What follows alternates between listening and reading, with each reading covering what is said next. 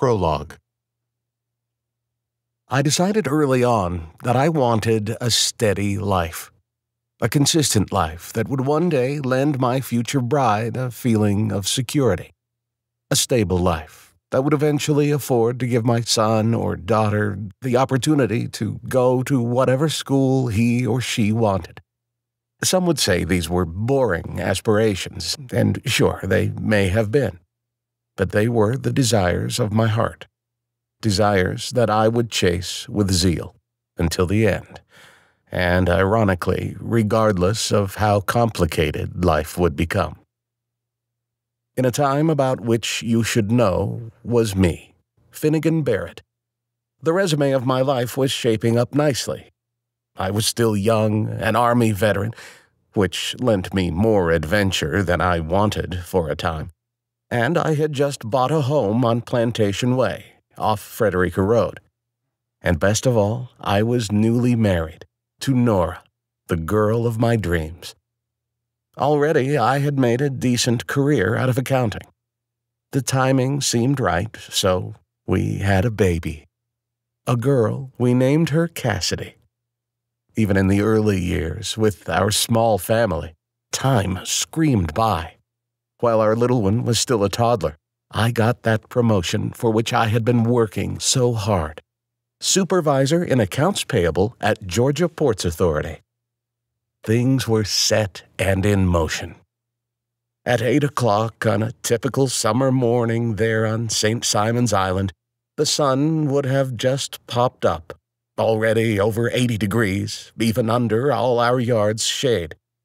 The humidity pulled heavily on the Spanish moss, the way a shy child would to a mother, clinging, weighing her down and holding her in place.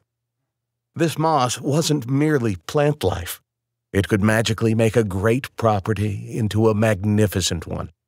And except for said Spanish moss and the front porch swing, a snapshot of our home gave no indication that we were near the Georgia coastline. No bright colors, no washed out decks.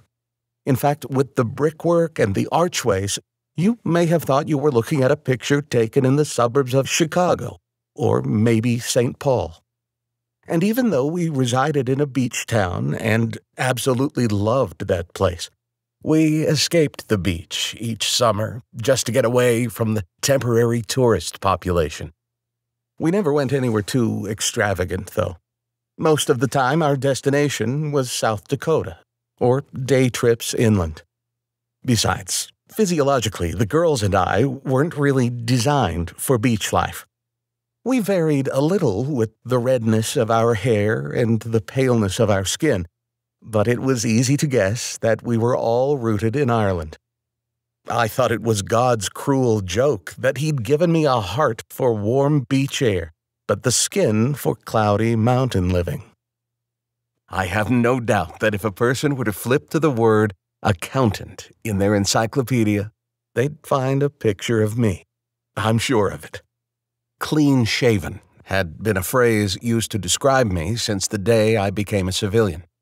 I wore black, plastic rimmed glasses and a button up, short sleeved shirt. At least most of the time.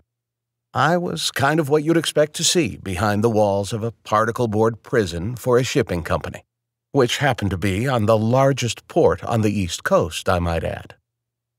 Most days in our division were a mesmerizing experience, with the constant clicking of our 10 keypads, shuffling of our paperwork, and the sound of pencils scribbling data into our ledgers.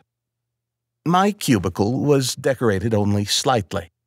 In the far left corner of my L shaped desk stood a tiny shamrock covered Christmas tree.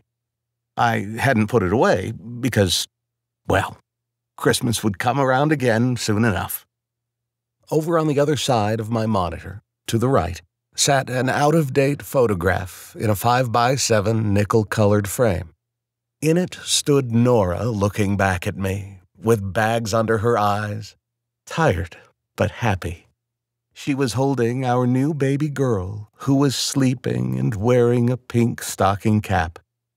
And then there was me, in my argyle patterned sweater vest, My face was twisted, a strange look, and forcing a closed mouthed smile, hiding my crooked teeth, as I stood with my hand awkwardly on Nora's shoulder.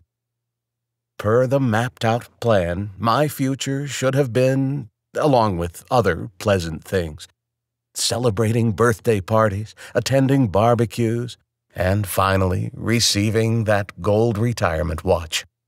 Not ending up on the other side of the planet, sitting in a musty cell, awaiting execution. But I suppose what's done is done. So here's my terrible and beautiful story.